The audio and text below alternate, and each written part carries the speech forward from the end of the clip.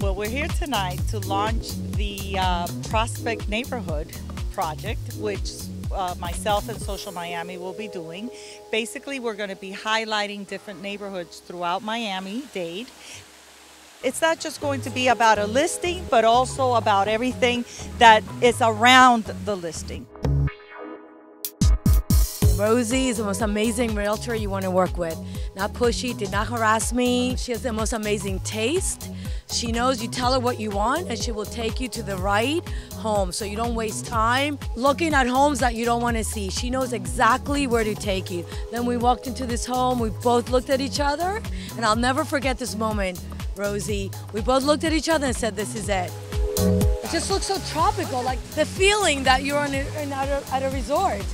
It appealed to me, uh, the man-made lake. Only three homes around this lake. I have the best view of the lake. Uh, it seems like it's my own private lake, which is amazing.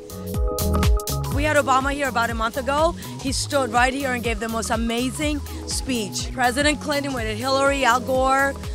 It's a party house, political and charitable. Spanish is uh, my second language, and I, my assistant is Russian, so I can also provide someone who speaks Russian, and uh, probably a little bit of Portuguese as well.